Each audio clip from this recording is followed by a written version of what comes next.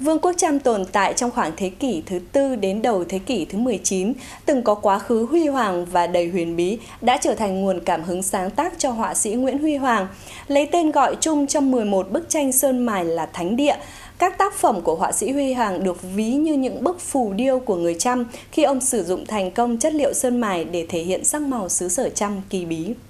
Hình tượng rắn Naga, điệu nhảy của Sinva, cho đến những hình ảnh dung dị về tình mẫu tử trước sự ra đời của đứa trẻ.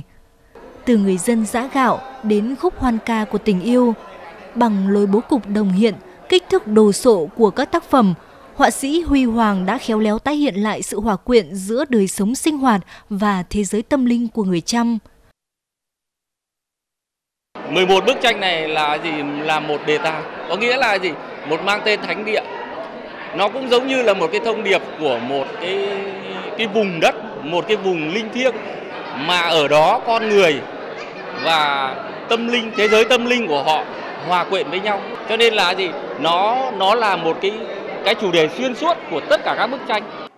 Với dòng tranh sơn mài, đôi khi nội dung chỉ là cái cớ cho sự sáng tạo của người nghệ sĩ qua 11 bức tranh của Huy Hoàng, người xem có thể thấy ở đó cái hồn của văn hóa trăm huyền bí, in dấu trong đền đài, cá tính và phẩm chất con người.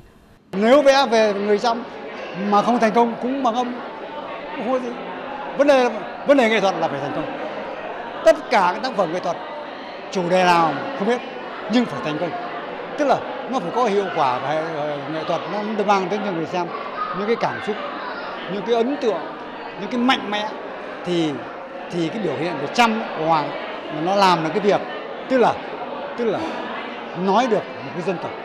theo được biết thì những bức tranh này đã được làm theo phương pháp sơn mài kiểu cổ và nó đã giữ được những cái bản sắc của sơn mài Việt Nam. Theo đuổi sơn mài từ hơn 20 năm nay, họa sĩ Huy Hoàng luôn tìm tòi, thử nghiệm kỹ thuật, thành thạo và khéo léo trong xử lý chất liệu của sơn mài truyền thống – những lớp vàng son bạc vụn chồng lên nhau, ẩn dưới lớp cánh rán ong vàng. Tất cả đã tạo ra hiệu ứng thô ráp của đá sa thạch trên những khối điêu khắc trăm trong tác phẩm Thánh Địa.